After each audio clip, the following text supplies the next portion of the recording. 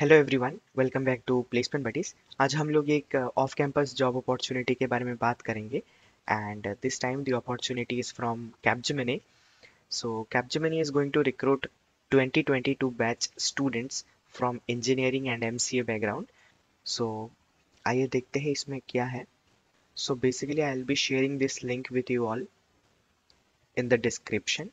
you can check this out right पहले तो यहाँ पे कैपजेमिनी के बारे में लिखा हुआ है video is also there stating the purpose of Capgemini, right? Now let us talk about the eligibility criteria. Candidates must be graduating in 2022 batch only, right? Students belonging from MCA or any department of both BE or BTech are eligible for this drive. In case of MEM Tech students, it is open only for information technology, information science and computer science. You should have 60% in above in diploma, graduation in MCA or MEM Tech, right? You should not have more than one year of gap between academic milestone stages. The academic milestone stages are 10th, 12th degree and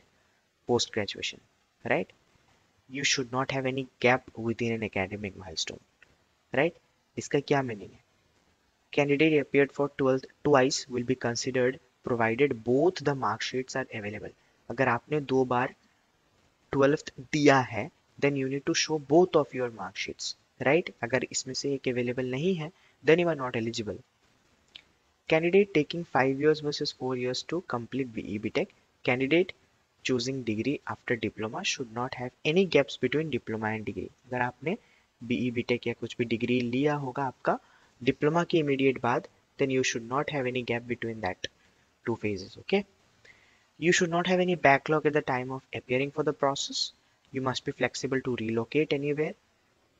right you should be open to sign service level agreement at the time of joining bond वगैरह sign करा सकते हैं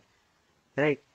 only the shortlisted candidates will be invited for the test और assessment और selection process आप जब भी apply करोगे your profile will either get shortlisted or not. अगर shortlisted हो गया then you will be lucky enough to appear for the online test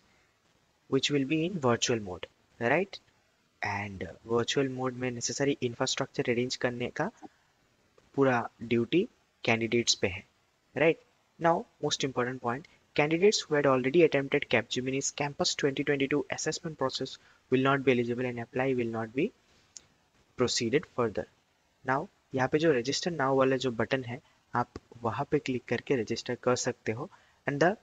end make sure that you register yourself before fifteenth of 2021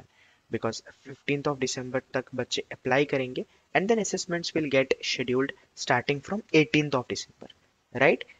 अभी बात करेंगे assessment process के बारे में। जो पहला राउंड होने वाला है, जो जो ऑनलाइन टेस्ट राउंड होने वाला है, उसका पहला जो स्टेप है that is technical assessment pseudocode right the second step is multiple choice questions based english communication test and then you will have the game based aptitude test behavioral competency profiling and finally the technical plus hr interview clubbed okay now only those candidates who have cleared test assessment online assessment will be invited for the interview जो behavioral profiling competency वाला round है वो कोई elimination round नहीं है वो बस अपना जो बिहेवियर है कैंडिडेट का, उसको टेस्ट करने के लिए है right so you can simply click here to register yourself for this particular drive but make sure that you do it before the set deadline right so आज के लिए बस इतना ही। मिलते हैं अगले वीडियो पे। बाय